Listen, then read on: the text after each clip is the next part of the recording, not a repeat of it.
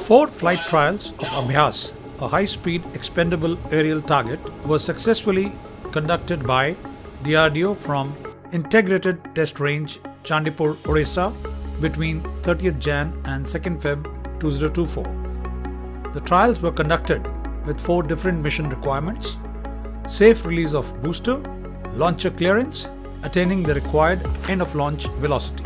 Various parameters like required endurance, speed, maneuverability, altitude, and range were also successfully validated.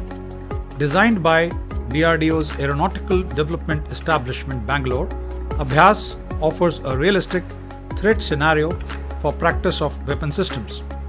Designed for autonomous flying with an autopilot, Abhyas is a fully indigenous product of ADE Bangalore. The development of the system will meet the requirements of aerial targets for the armed forces, said the Raksha Mantri Shri Rajnath Singh.